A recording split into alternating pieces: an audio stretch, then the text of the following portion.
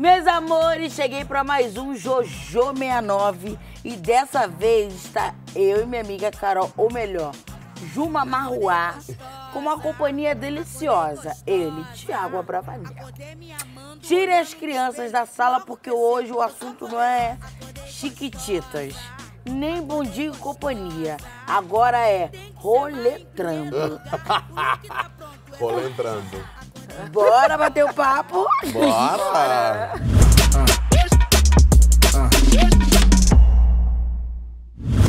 Lembra lá no BBB que você falou que curte ser voyeur? Né? Explica pra galera que tá te assistindo o que é voyeur. Voyeur é aquele que observa, que gosta de ver o negócio pegando fogo ali e você fica ali, olhando, admirando. Você se anima com a situação, entendeu? Você vê, você não. Claro, na maioria das vezes, se você tá vendo, dá uma vontade de participar. Mas ver é bom. Você não gosta de ver? Nunca vi, não tenho, Nunca tenho essas curiosidades, não. Não, Eu por sou, quê? eu sou antiga. Ah, Jojo. Por Deus, eu sou antiga. Você nunca viu? Não. Nada. Eu sou velha, tô falando pra você. Eu sou velha mesmo. E você, Carol, gosta de voyeur? Gosto de ser vista. Ó, Não tenho, muita, não tenho muito tesão em ver, não, mas eu gosto de ser vista. eu também gosto de, de ser visto também. É, me excita ser vista. Gente, eu sou alienígena, legal. É gostoso, é gostoso. O jogo da, da observação, você entender ali a hora que tá, o negócio tá pegando fogo. É, é excitante. Você é cook code? O que, que é isso? Isso eu não sei. Que é seu marido transando com outra pessoa e você observando. Eu gosto ah. De pensar nessa possibilidade. No Brasil, cada vez mais, tem mais casais cujo marido, ou outro marido, ou esposa... É, sentar no meu morango ali, quem, quem, quem, quem, quem, quem, quem, mas, quem, quem, quem, é, deu até uma gagueira. Ah, ah, mas Amor, Cocode é só falar. para maridos, essa categoria, só para os homens com os maridos e ou suas esposas. Não é você que compartilha seu marido, é ele que te compartilha com outro homem que tem tesão em ver você transar com Ah, outro isso, homem. meu amor. Não tem como, isso nunca vai acontecer. Hum, nunca Ah, diga mas- nunca, hein? Porque, não, meu marido, meu marido é igual a mim, antigo, graças a Deus. Não, amigo, eu não tenho curiosidade nenhuma nessas coisas. Eu sou problemática, maluca, Ah, entendeu? Olha, eu sou problemático maluco e faço assim, e, e aproveito a vida. ué. não, não. Ih, e aí, não, ih, Tá Ó, gaguejando. deixa eu te explicar o negócio. minha irmã já Existe uma coisa. essas coisas. Existe uma coisa. Nada contra quem faça, cada um faz o que quer, mas eu... É, não, também acho. Mas é que existe uma coisa que se chama desejo. E o desejo, ele não tá ligado só ao que acontece dentro do relacionamento. Tipo, você ama o seu marido, você tem tesão no seu marido e tal. Mas você também pode ter tesão em outras pessoas. O tesão né? extrapola os O contratos. tesão não tem a ver com, com o acordo do casamento. Tem a ver com vontades que vão além do- do- dos acordos. E aí, os relacionamentos podem ou ser abertos, tipo, de você fazer junto ou não. Depende do acordo. Se você acordar com seu marido que não, não vai pegar ninguém, eu também não vou pegar ninguém, eu não quero ver você fazendo nada com ninguém, e se eu também não quero que você veja eu fazendo nada com ninguém, esse é o acordo. Mas eu acho que diálogo e vontades tem, tem que sempre existir. É, eu nunca tive esses pensamentos, nem, nem, nem esse quando eu era solteira, eu nunca fui de. é, tipo assim, ah, tem uma resenha, o pessoal, cada um ia, caçava teu rumo e ia fazer as coisas. Mas nunca assim, é. Troca-troca, essas coisas, nunca, eu nunca fui. Eu sou efeito refrigerante. Ah. Entendeu? Tenho gás, mas na hora que, ó, ó. Quem Se me mexe- viu, mentiu. Se mexe demais, perde o gosto. Eu boto fogo no parquinho, mas quando vai ver, cadê o Jordana? Já tô em casa. Entendi. É, eu não sou, eu não sou. Eu gosto do parquinho pegando fogo. Não, eu acho bacana as pessoas falarem assim, eu me surpreendo, porque eu vejo e falo, gente, é, realmente eu sou alienígena real, assim. Eu sou aquela pessoa assim, eu e você, você e eu e. Mas eu. Mas, mas pra ficar bem claro aqui, eu não tenho um relacionamento aberto. A gente brinca junto. Não, sim. E é porque são várias modalidades Tem, também. tem vários acordos. Tem muitos né? acordos, Jojo. Por exemplo, você pode ser poligâmico e acordado, ou seja, você só pode ficar com X pessoas. Você não pode sair na rua e ficar com qualquer É, não, também Então não é tem bagunça. casais que se organizam, Quer não. dizer, não é que não é bagunça. Pode ser bagunça se você quiser que É, seja bagunça, entendeu? No meu caso, é Acordado. acordado. Você acha que tem muita gente que tem vergonha de falar sobre os seus desejos? Opa, A maioria Muita, das a grande pessoas. maioria. Inclusive, você se sente alienígena, sei lá em qual episódio desse programa, porque você tá ouvindo as pessoas falarem de coisas que, em geral, não são faladas. Por isso, a essa altura, você diz, eu acho que eu sou alienígena. É verdade. Não, mas eu, mas eu sou uma pessoa tão aberta sexualmente pra falar sobre sexualidade. Não, Não, mas você é você falar É. sobre, você entender sobre, não significa que você pratique. Exatamente. Ah, tá. Não, sim. As práticas que foram trazidas, você foi, uau, eu tô mais conservadora do que eu esperava, assim. É, não, E que, justamente. também, e que também que fique claro que esse conservadorismo vai de cada Então, um. mas É. antes, antes de eu casar, eu tava ficando com uma pessoa. Ele falou: ah, vamos, vamos chamar um- uma amiga minha, não sei o quê. Eu falei pra ele, não. Aí ele falou assim: é, a gente só serve pra ser amigo mesmo, porque você é muito conservadora. Aí eu falei pra ele: não é questão de ser conservador, é o conservadorismo também, porque não- minha mente não é aberta pra essas coisas. E a questão também que eu tenho um nome a zelar. E todas as oportunidades que elas têm de, sei lá, querer polemizar em cima de você, ou ficar te ameaçando com coisas, olha, é, é, fez tal coisa. Então eu tenho pânico dessas Mas coisas. sabe o que, que eu acho que acontece? O ser humano ele tá acostumado a se preocupar com o que os outros vão pensar. E aí, Não, é verdade. quando todo mundo ligar o botão do foda-se, a gente vai entender que a gente pode viver a nossa vida sem medo de ser feliz. Por exemplo, às vezes a gente tem vontade de fazer alguma coisa e aí, principalmente a gente que é figura pública, a gente deixa de fazer porque a gente fica com medo, porque, ah não, porque o Thiago Abravanel faz isso. Mas se todo mundo faz, por que, que eu não posso fazer? Não, você pode fazer, com certeza. Não, mas é. Entende? Só que fica num um lugar do politicamente correto ou do a- o artista tem limitações, a gente já se priva de muita coisa pelo fato de sermos pessoas conhecidas. Se tem uma coisa que eu prezo todos os dias, ela pela minha liberdade, para eu ser e fazer aquilo que eu tenho vontade. Uau. Senão eu não vou ser mais artista. Porque não faz sentido eu querer fazer alguma coisa, eu querer ser alguma coisa, eu querer viver alguma experiência e a minha profissão ou o lugar que eu ocupo me tolir disso. Por isso que é muito importante se cercar de segurança. É. Sexualidade tem sempre a ver com segurança. Um meio seguro, relação segura, em que você não sinta que a expressão de seu desejo ao ápice vai te ocasionar em alguma circunstância risco. Você não foi para aquela circunstância, acho Nossa, que ela fala bem pra caceta, Ela né? é lésbica. Nossa senhora, ela falou agora uma Não, frase que eu, olha o que que eu acontece. quase fiz assim, ó. Porque também é, é um, é, um, é um discurso meu, assim, né? Eu sou uma pessoa que eu sou, tenho a mente aberta para várias coisas, me posiciono sobre várias coisas, mas na questão, assim, da intimidade, eu não sou aberta.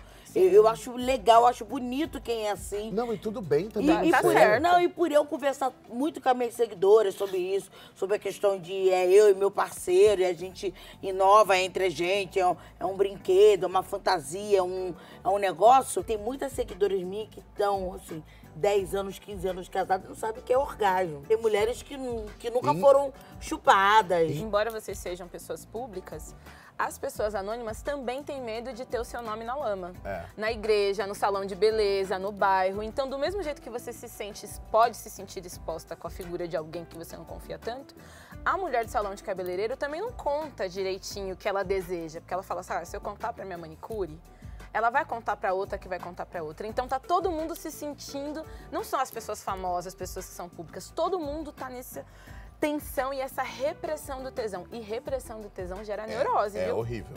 Por isso que tá há muita gente aí descompensada, porque É. tem uma energia. Neurose. Gera neurose, é, sério? real, As psiquiatra. pessoas ficam doidas. É. Ué, você não ficou doida lá na casa porque não tinha o brinquedinho? Ah, não, é- era pra aliviar meu estresse. amiga. Então! Mas é justamente por isso. Fala, ai. É igual fazer xixi quando tu tá apertado, que tu solta o xixi. Então, agora você imagina, agora você imagina a quantidade de pessoas que têm desejos, vontades, a- até mesmo de se libertar nesse lugar e que tem medo por uma ou por uma questão religiosa, ou por uma questão social, ou porque a família vai falar alguma coisa, ou porque cara, sexo é vida. Não é à toa que a gente vem de um ato sexual. Ninguém é filho do amor. Exato. Todo mundo é filho do sexo. do sexo. Você pode ter gratidão, muito amor, mas nada, nenhum desses sentimentos gera vida que Só senão acontece sexo. depois do, Ô, do Thiago, quantos bom. anos você tinha quando você começou a entender a sua sexualidade? Bom, eu perdi a minha virgindade com 14 anos de idade. Foi bem cedo. Eu também perdi cedo, então É, vamos junto. Foi bem cedo. O entender sexual é uma coisa e o entender que eu sou homossexual demorou um pouco mais. Porque eu tinha desejo, eu observava, tipo, por exemplo, filmes, pornografia, alguma coisa assim. Eu olhava, sentia tesão e não entendia se era do ato, se era da mulher, se era do homem. E aos poucos eu fui entendendo que isso existia dentro de mim. A minha sexualidade transformou, a, a minha cabeça mudou um pouco quando eu me apaixonei por um cara e não, não tinha entendido que estava apaixonado. E a minha mãe me disse: Você se apaixonou por ele. A partir daquele momento, eu me entendi como homossexual. E por ter uma família que sempre teve um- uma liberdade de conversar sobre isso. Ah, não vou perguntar isso não. O quê? Ah, desculpa. Pode perguntar o que você quiser. Não, eu pedi pra perguntar se essa primeira vez foi com menino ou menino. Foi com mulher. Com mulher. Foi. Minha primeira vez com homem foi com 17. 17 anos, eu acho. É, por aí. E você já tava apaixonado por essa pessoa? Não. Você se relacionou com a pessoa que você se apaixonou? Ah, com a, com a primeira. Não, então. Quando eu me descobri homossexual, eu me apaixonei, mas não me relacionei porque ele era hétero. Eu entendi que existia a possibilidade de eu gostar de meninos. Então isso foi uma fase. Aí depois que eu entendi que eu podia gostar de menina, aí eu comecei a observar os meninos de uma outra maneira. Ainda assim, tive um último relacionamento hétero, que foi muito legal. Uma mulher incrível, uma menina muito especial que eu, que eu convivo ainda até hoje. Mas durante o relacionamento eu entendi que faltava alguma coisa, assim, literalmente. Faltava. Literalmente faltava alguma coisa. E aí depois eu beijei na boca é, de um amigo pela primeira vez. E aí depois de um, sei lá, um ano, um ano e pouco, aí eu tive meu primeiro sexo com, com homem. Que foi legal, assim. Na verdade, eu encaro o sexo como o momento sexual e não a penetração em si. Excelente. E penetração demorou pra rolar, assim. Tanto em mim quanto no, no outro parceiro. E ainda é um, é um lugar que a gente sempre descobre. Não é, por exemplo, eu dar não é uma coisa que é super tranquila, mas eu já consegui sentir prazer. Então, acho que depende muito da, Do momento, do né? momento, de como isso é dentro da relação. Agora, com o casamento, já, aí as coisas já acontecem. Com mais frequência. Com mais frequência, né? Eu Você posso- pode perguntar o que você quiser. Não, lê ali no Vai. TP, eu fico, eu fico... meio- Na hora do vamos ver, você é total flex ou só utiliza um combustível mesmo? I'm a total flex. Arrasou. Eu vou de tudo, vou de tudo. Na hora do. Claro, de tudo que me dá vontade naquele momento. Exatamente. Né? Tipo, a gente Vale tem que- tudo, Carol. Claro. Eu acho que vale Claro. tudo de acordo com aquilo que você tem vontade. Se você não tá com vontade de dar o cu, gente, não dê. Porque não, Não, vai, ser, bom. Nossa, falamos junto. Não, eu vai falo, ser minha, bom. minha- as minhas amigas falam muito comigo sobre isso. Ah, eu nunca consigo. Eu falei, gente, você tem que estar confortável e confiar na pessoa que você está se relacionando. Se você não tiver confiança na pessoa, você tiver tenso, não vai rolar. Não E vai. mais do que isso, confiar no cu. confiar que você tá suficientemente relaxada para tanto. Porque a pessoa pode ser gente boa, pode ser querida, mas se o seu cu disser assim, hoje não, não vá. O que fala? Claro! Ah, Brasil, tem dia que o cu faz assim, ó. Exatamente, o cu fala muito. Aqui não. O corpo Opa. fala, Jojo, o corpo fala. Gente, o meu nunca fala. Nunca te contou? Mas o Nunca cu fala. falou O cu nada? não fala? Meu cu sempre fala, fala aqui. Hoje, Não adianta insistir, Hoje não tem hoje ia dias assistir. que não é dia. Nem todo dia é dia de cu. é. Tá passada, né, Bê? Ela tá muito. Não, eu tô chocada mesmo. Ai, bonitinha. Que é maravilhoso. Sabe Numa por quê? relação- Sabe por quê? Porque provavelmente as pessoas também têm o preconceito, por você ser essa mulher pra frente, de achar que você também tem que falar sobre tudo ou que você faz tudo. E, e é preconceito das pessoas. Não, você também pode ser a, a menina que ainda tem Não, receio de. eu sou de- travada. É, eu, sou- então. eu converso sobre sexo, falo besteira. aquela coisa toda assim, mas eu tenho. Eu, pra, te- pra perguntar, eu sou. Não tenha Se vergonha. me perguntar, eu respondo. Agora, pra eu perguntar, eu fico travada. Pode perguntar. A Carol veio pra ser assim um. Um relax. É, pra, pra, pra ser um divisor de água, assim, porque. E eu sei, gente, mas já estou dizendo pra você, você pode perguntar o que você quiser. O que eu não puder responder, eu vou, eu vou falar. Então tá bom. Esse é o tipo de coisa que eu não falo. Numa relação é sexual, o que te faria apertar o botão e ir embora? Desrespeito. Ah, com certeza. É, Desrespeito, com certeza. Agressividade em excesso. é. Não, eu gosto de uma, de uma coisa mais. Não, nervosa, porque, mais- né, tem, tem gente que gosta acordo. de uma força, de um negócio, mas passar do limite na agressão, não. Não. Não, não, não, não, não.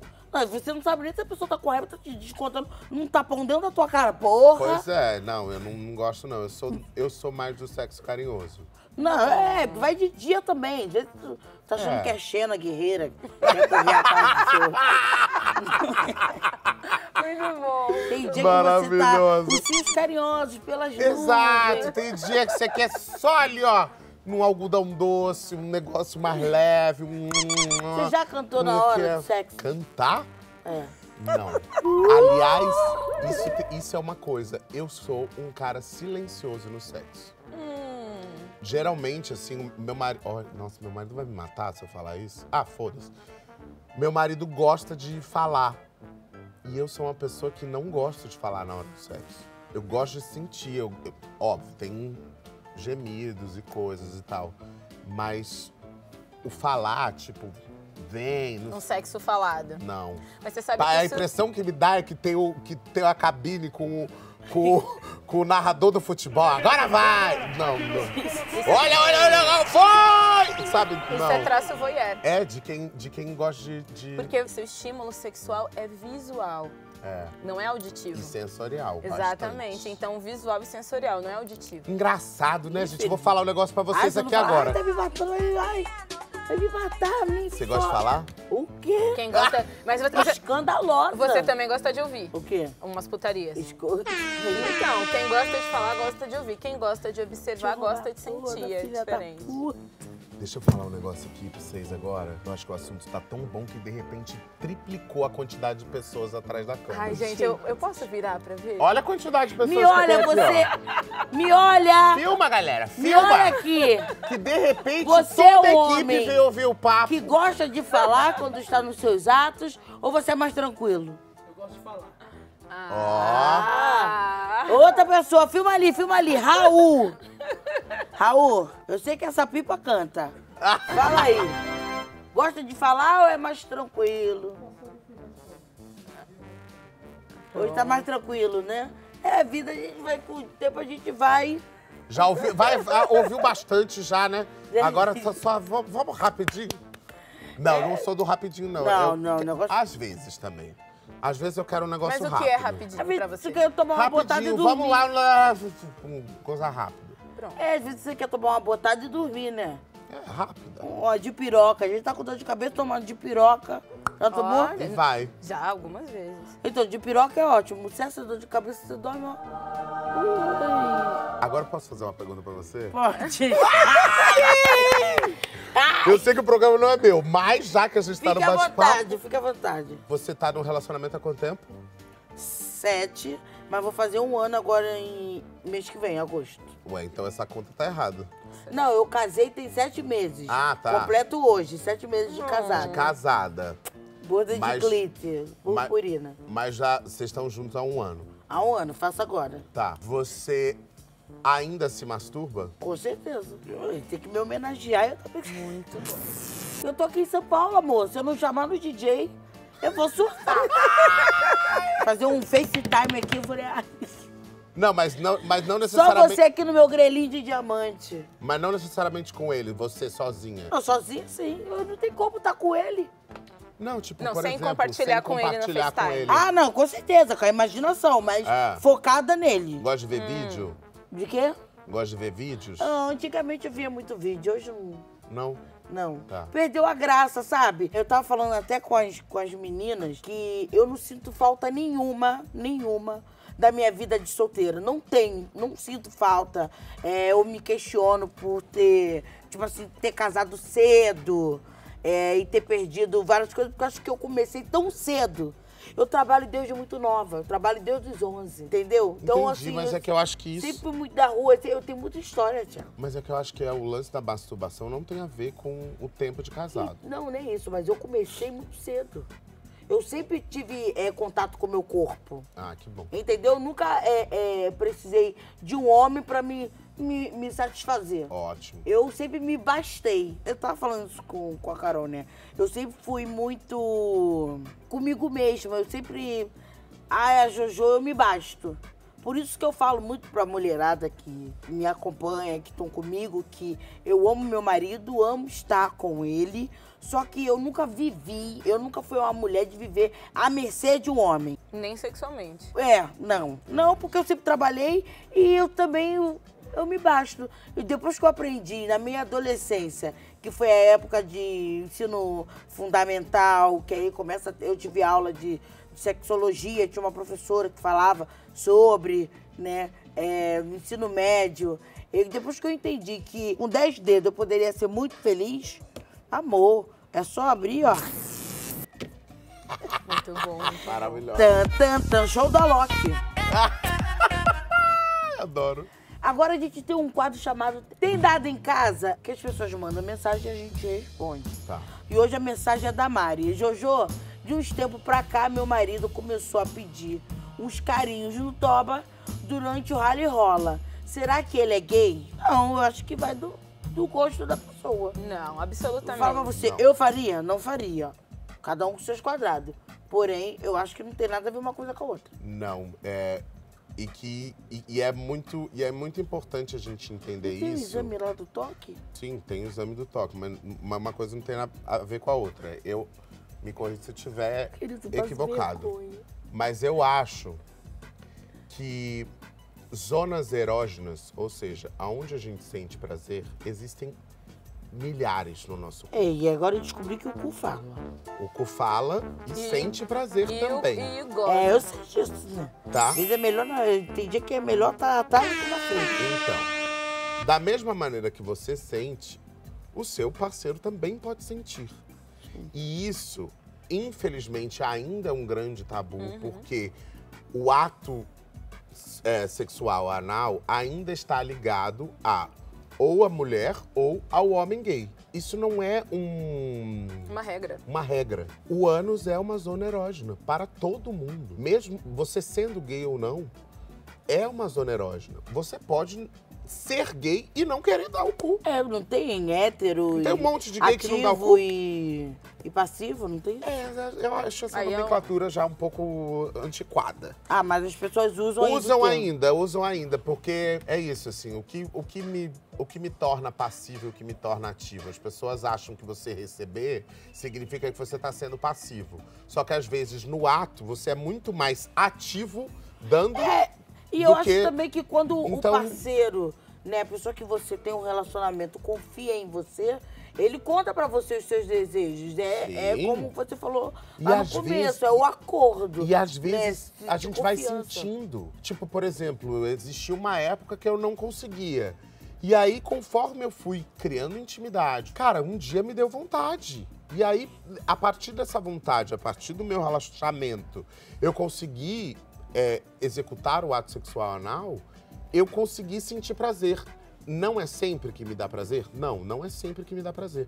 Mas a gente entender que todos nós temos diversas zonas eróticas no nosso corpo e a gente se libertar desses tabus sociais, onde determina que ah, o tesão ligado ao ânus É, porque é o quatro tesão paredes, do é gay. você e seu parceiro. É Não, que tem uma tem nada a armadilha. Uma armadilha muito grande nas três categorias. Tanto o tesão no ânus, o períneo, quanto o passivo e ativo. Isso. Qual que é a armadilha? A armadilha da virilidade. Então a gente tá numa sociedade, vou usar. o- Machista, né? Exatamente. Machista e patriarcal. E eu vou Uhum. usar uma palavra outra nova aqui, que é falocrática. O que, que é falocrática? Ah, é falo, Ah, tá. pênis. Ou seja, quem é ativo? Ativo é quem penetra dentro da cabeça das pessoas. É quem vai É quem vai, é quem Botar. performa a masculinidade. Então, até em relação entre mulheres e mulheres lésbicas, tem a ideia de quem é ativa da relação e quem é passiva da relação. E aí, a ativa da relação é aquela que performa o quê?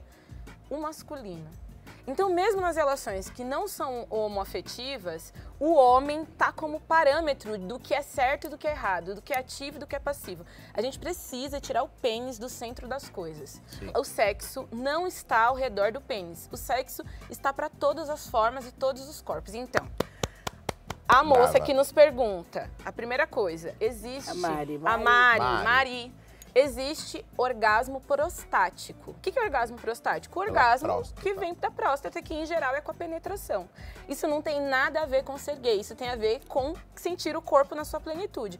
Os homens que são hétero e não estão sentindo orgasmo prostático estão perdendo possibilidades de sensações que ele nunca teve na vida e provavelmente não vai ter por causa do machismo. E que provavelmente ele deixa de sentir essa possibilidade. Óbvio que pode ser por pura opção, não Uhum. quero, não tenho vontade. Mas a grande maioria pode até sentir a vontade de, de querer sentir esse prazer, mas pelo fato de O microfone até caiu, ó. pelo, pelo fato disso ser ligado justamente a uma sociedade que pensa que dar o cu, né? Dar o cu, sentir o prazer anal é coisa de viado, É menos é, viril. é menos viril, os homens deixam de fazer isso. Gente, a cada Jojo 69 eu tô tendo aulas, filho. Aulas e palestras. Mas eu acho que a gente tem que conversar mais sobre isso e não ter tanto pudor. Sim. Se a gente entendesse que o nosso corpo existem milhares de zonas erógenas na nossa adolescência, cara, o adolescente não ia estar nem aí. Ai, nossa, senti prazer no meu cu. Não ia ser uma questão social. Ai, eu não posso dar o cu porque eu sou hétero. Não ia ser. É, porque são vários pontos, né? Orelha, Uh, tem um monte. Muito. pescoço, tem muito. Pé. Pé. Pé. Amor, eu já gozei sem encostar no meu pau. Exatamente. Essa genitalização do sexo é Juro. prejudicial. É babado. Claro, super possível. É, porque vem- também vem- tá aqui também, né? Tá. Na imaginação, E, arrasou. e não só na imaginação, no quanto você está livre pra sentir o prazer, pra se conectar dentro da, daquela relação. Gente, eu não Entendeu? sei de. Cada dia que passa, eu tenho certeza que eu não sei de nada. Mari, fica tranquila que não tem nada de meu marido é gay, meu namorado é gay. Vocês fazem o que vocês quiserem, porque a vida é de vocês. Exato. E em quatro paredes, quem decide é vocês. E vou Aí te dizer. Pode ser ainda que ele seja bi, também é uma possibilidade. Mas isso não necessariamente tem a ver com o fato dele sentir tesão no ânus, na próstata. E vou te dizer, você saber, Mari, que o seu marido tá sentindo prazer porque você tá dando prazer a ele, ele tá fazendo alguma coisa com você, junto com você, isso é muito especial. Muito. Então, se ele pediu pra você, com certeza ele quer sentir o prazer com você. Não tem a ver com ele querer outra pessoa. E porque confia também, né? Exato. Tem uma Com pessoa ali certeza. que é o companheirismo, confia, pode partilhar as coisas. Exato. E se não confiasse, ele ia ficar com medo de falar. Ai, enfia o dedo no meu cu. Ele ia ficar com medo. É verdade. Cara, tem umas coisas que eu, eu, eu fico bugada, assim, porque são tantas informações, né, é, diferentes, que a gente vai aprendendo. Né? Isso é muito bacana. Mas estamos todos aprendendo. O A vida é tempo, isso. o eu tempo aprendo todo. o tempo todo. Eu aprendo muito. Eu atendo, né? Individual. Casais e pessoas individual. Cada sessão eu saio de lá, nossa, assim, é, é universo. Pessoas que são públicas e ou não, mas que trazem elaborações profundas da sua intimidade, né? Que confiam a mim parte expressiva da sua intimidade. E quando acaba a sessão, eu falo, uau, o que é o ser humano? É, né? E o que a sociedade, às vezes castradora, faz com o nosso melhor, que é o tesão de viver. exato. Então, é muito legal. Tesão eu tô aprendendo. de viver, o tesão em viver. Exatamente. E viver com tesão também. Exatamente. Arrasou. Olha, Ioni dá as dicas pra gente. Agora é hora da dica? Quais as dicas de hoje? Eu fiquei pensando, eu tinha uma dica, mas eu, eu achei que essa- esse programa foi tão especial tanto quanto os outros, né? Mas muito especial mesmo. E eu fiquei pensando na oportunidade que os casais têm, sejam eles de mulher, entre mulheres, entre pessoas com pênis ou pessoas com vagina, é, de desgenitalizar o sexo. Então eu acho que a dica é procure um, um momento assim, procure é, sexualizar o dia, sabe? Mandar mensagens, é, falar coisas bonitas, elogiar ao longo do dia, tomar um banho junto, Ah, fazer uma massagem e estabelecer uma regra. nesse dia ou nessa noite a gente não vai ter penetração, não vai ter lambida, não vai ter nada. Só massagem, só toque, que não seja necessariamente genital. Procurem estimular-se sem o compromisso do orgasmo, mas o compromisso com o prazer, com a sensorialidade. Se tiver orgasmo, vai ser perfeito, mas se não tiver orgasmo, a ação em si já é orgástica, já é erótica. E a gente precisa experimentar isso e eu gostaria de estimular quem está nos assistindo a viver essa experiência. Olha. Maravilhosa! Que lindo. Vou fazer isso hoje, chegando em casa. Minha amor, bom. muito obrigada pelo carinho. Obrigado você. Desculpa se você ficou desconfortável com alguma coisa. Eu? Ah, eu, eu, eu, eu, eu, fico, eu fico até nervosa. Eu fico nervosa, eu quero Meu amor, deixa eu te falar uma coisa. Você tem uma energia tão especial. Obrigada. Você deixa a gente tão à vontade. E isso é, isso é muito seu, isso é natural seu. Eu quero que você tenha muito sucesso na sua vida, que você possa aprender muitas coisas ainda que você tá vendo que você ainda tem muita coisa para viver, você é muito nova, mas não deixe que nada ou nem ninguém limite a sua possibilidade de evoluir e de aprender. Você é demais. Eu fiquei muito honrado de participar desse programa e quero poder sim estar mais próximo de você para que a gente aprenda junto sobre sexo, sobre tudo, sobre, sobre a vida, porque é assim que a gente evolui e uma honra te conhecer. Prazerão. Você é incrível. Obrigada. Você deu a, você dá aula não só na vida, mas apre- é, trocando com a gente e que todos nós aí, que tá- todo mundo tá em casa, que a gente possa aprender trocando uns com os outros, que é assim que a gente vai evoluir. Axé. Obrigado. Parabéns, Carol, você é Obrigada. foda. Já Achei. falei pra você, você é foda. Você explicou pra Anne aquele livro? Ela Pois- deu um livro pra gente aí, de negócio de menstruação ancestral. Eu quero. Eu quero aprender. Eu te- mexer no meu livro pra deixar tudo bonitinho. Gente, olha, fico por aqui com mais um Jojo 69. Tá? Espero que vocês tenham gostado. Deixe seu like. Olha, acesse muito o canal Momo Show, que a cada programa a gente vai trazer vídeos novos, dicas novas, pra você aprender e se surpreender, assim como eu me surpreendo cada dia mais com a Carol e com os meus convidados que são foda. Beijo com muito amor. Vem, vem, vem contatinho que a noite promete. Vem cá, Jojo, sua paniquete. Acordei gostosa, acordei gostosa. Mulher, quando tá pronta, não quer guerra com ninguém, hein? E se o biquíni não for B,